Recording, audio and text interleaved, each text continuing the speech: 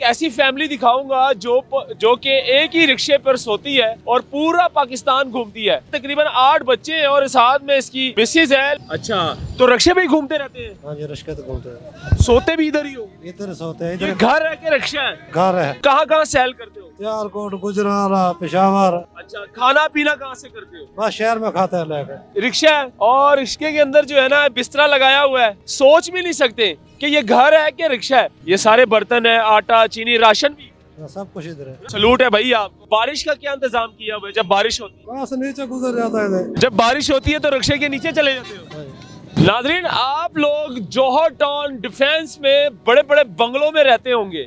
लेकिन आज मैं आपको एक ऐसी फैमिली दिखाऊँगा जो जो कि एक ही रिक्शे पर सोती है और पूरा पाकिस्तान घूमती है।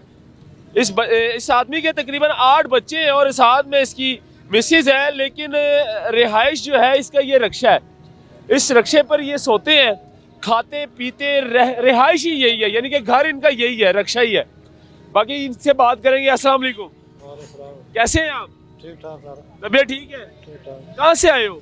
सियालकोट सियालकोट से आए हैं? हाँ जी भावलपुर से जाना है। अच्छा तो रिक्शे में ही घूमते रहते हैं? हाँ जी रिक्शे तो घूमते हैं। सोते भी इधर ही हो? इधर सोते हैं इधर घर है कि रिक्शा है। घर है।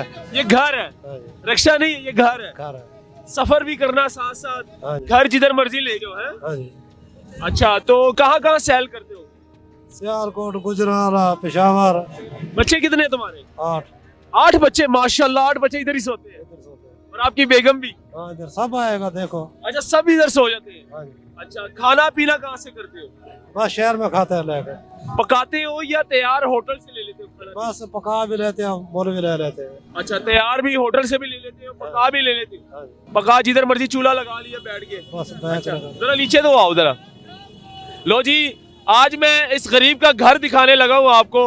ये कोई बड़ा सा बंगला नहीं है कोई आठ प्लॉट या पाँच मरले का या एक कनाल का बंगला नहीं है ये घर है। आगे आओ जरा।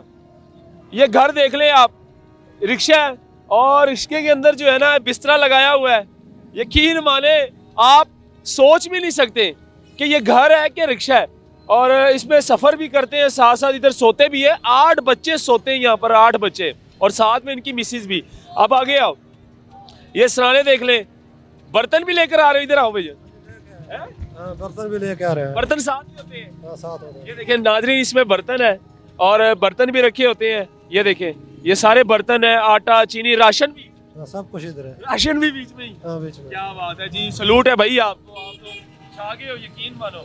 ये आइडिया कैसे आया था आपको? बस साइड है मजबूरी कराती है।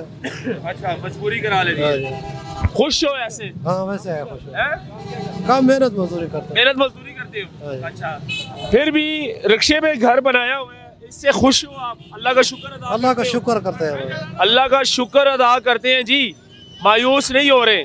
ये फिर भी अल्लाह का शुक्र अदा कर रहे हैं कि ये हमारा घर है। ये रिक्शा नहीं है इनका, ये इनका घर है। आप लोग तो छोटे छोटे घर में या किराए के घर में रहते होंगे, लेकिन आप लोग फिर भी नाशुक्रे होते हैं। ये बाहर रोड पर घर बनाकर रिक्शे के ऊपर फिर भी अल्लाह ताला का शुक्र अदा कर रहे हैं। और मैं दिखा रहा हूँ इसका घर आपको। ये देखिए जी, बिस्तरे पड़े हुए इतनी सर्दी है यार, ना छत होती है। बारिश का क्या इंतज़ाम किया हुआ है? जब बारिश होती है। वहाँ से नीचे गुजर जाता है नीचे बढ़ जाता है जब बारिश होती है तो रिक्शे के नीचे चले जाते हो। यार क्या बात है जी। जब बारिश होती है तो रिक्शे के नीचे चले जाते हैं। तो ऊपर छत के इंतज़ाम नहीं किया हुआ? वो शापर लेता है हैं? शापर। चॉपर लगाया हुआ है? हाँ फिर बारिश रुक जाती है इस तरह तो ये गीले शीले हो जाएँगे ना बिस्तरे आपके खराब हो जाएँगे। हाँ जी। हैं? हाँ आप किधर जा रहे हो आप? आप भावलपुर जा रहे हो। बहावलपुर जा रहे हो? हाँ रिक्शे पे? रक्षे तो कितना पेट्रोल सड़ेगा आपका? वैसे सात हज़ार का सड़ जाता है। सात हज़ार का पेट्रोल। बहावलपुर पे जा रहे हैं और बहावलपुर यहाँ से तकरीबन कुछ सात घंटे का सफ़र है। और अगर मोटरवे पे जाएँ तो ये मोटरसाइकिल पे मोटरसाइकिल वाले रिक्शे पे बहावलपुर जा रहे हैं जनाब। पूरा पाकिस्तान घूमते हैं। कभी सियालकोट, कभी मुल्तान, कभी बहावलपुर, इस रिक्शे पर। और घर देख लें आप, यकीन माने, आप सोच भी नहीं सकते कि भाई ने घर कैसे बनाया हुआ है। और आठ बच्चे सोते हैं इस घर में। आठ बच्चे साथ में इनकी बेगम इसी घर में सोते हैं। बर्तन शर्तन साथ रखे हुए हैं।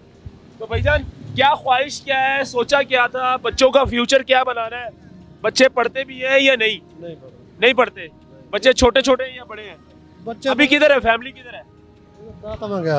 अच्छा सलाम करने के लिए? अच्छा अभी आएगी वापस? वापस आएँगे। अच्छा फिर इधर ही बैठ जाएँगे सोएँगे आप? हाँ।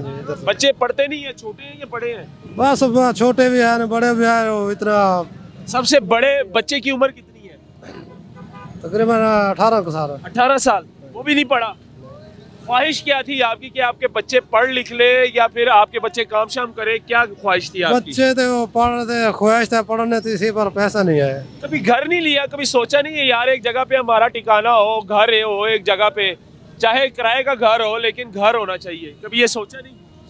सोचता तो है तो पैसा नहीं ना है थे यार सात हज़ार का आप पेट्रोल लगा रहे हो ये पैसे कहाँ से करते हैं। बस मजदूरी करते हैं तो टूटता है। अच्छा हाँ। मजदूरी करते हो। तो मजदूरी करके घर भी ले लो आप। घर भी लेंगे जब पैसे आएगा। अच्छा क्या होना चाहिए आपके लिए? अब के लिए हम क्या हैं? अब क्या होएगा? लो जी बड़ी बात है जी अल्लाह ताला का फिर भी शुक्र अदा कर रहा है ये भाई साहब। और अ, सोच भी नहीं सकता था कि इस रक्शे पर इन्होंने घर बनाया हुआ है। और आप लोग बड़े बड़े बंगलों में डिफेंस जौहर टाउन इस तरह के इलाकों में आप लोग रहते हैं। लेकिन ये हमारा गरीब भाई जो है ना, इस रक्शे पर घर बनाकर और पूरा पाकिस्तान घूमता है इसी एक ही रक्शे पे। तो बहुत बड़ी बात है जी। तो आठ बच्चे और साथ में मिसिस इसी रक्शे पे जो सोते हैं। ये दिखाना बहुत ज़रूरी था आप लोगों को। अल्लाह हाफिज़।